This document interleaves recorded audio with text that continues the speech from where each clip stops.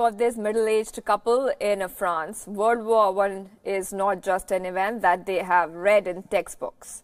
They have collected memorabilia from the Great War over decades now. Now, the duo have managed to collect over 3,000 artifacts related to the war.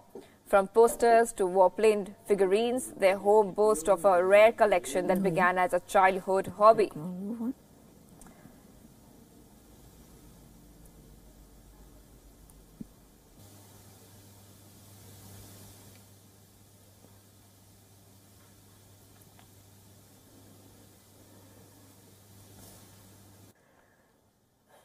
C'est difficile de mettre un prix sur des objets, euh, c'est suivant l'offre et la demande. Donc, euh,